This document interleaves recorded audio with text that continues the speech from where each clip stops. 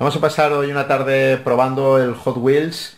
Eh, en este caso es la Energy Track. Bueno, aquí estoy con mi hijo, con sus coches Hot Wheels, con las pistas. Bueno, veremos qué es lo que sale de esta, ¿vale? Bueno, vamos a montarlo. Eh, ahí hay como un dedo marcado. Voy a ver si mi hijo consigue abrirlo.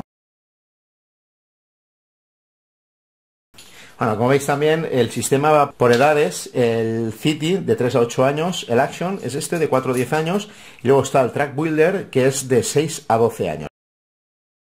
Bueno, vamos a probar este. Bueno, como veis tenemos un libro de instrucciones y nada, le he dicho a mi hijo que a ver qué tal lo monta y así pues también os puedo comentar un poquito sobre la dificultad. Bueno, aquí podéis ver los coches, mi, mi hijo dice que son coches guapos, ¿vale? Por lo tanto, la verdad es que son bastante, bastante chulos, ¿eh?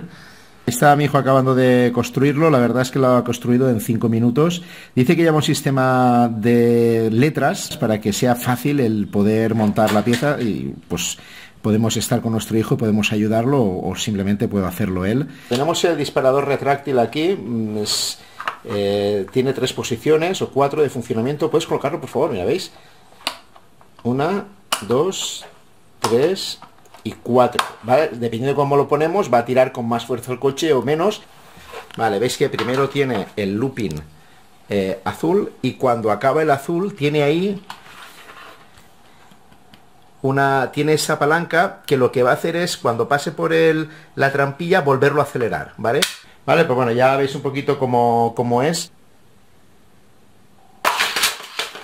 Bueno, habéis visto el, el efecto que hace.